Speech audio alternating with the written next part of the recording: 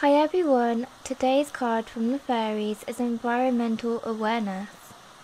The fairies are nature angels and they are recruiting you to help care for this planet that we all live on. Mother Earth is a living sentient being and we are all responsible for taking care of her.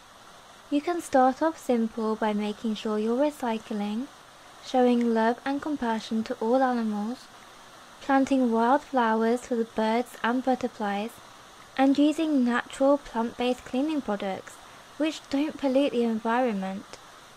Be conscious of how your actions affect this planet and all life on it, short-term and long-term.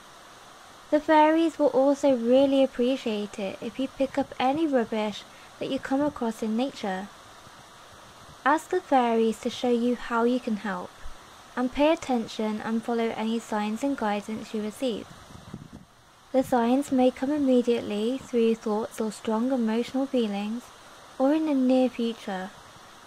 Look out for repetitive signs from the universe which seem to be steering you in a certain direction. Today's fairy affirmation is, It feels good to nurture my planet with loving care sending you love, light, and healing fairy blessings.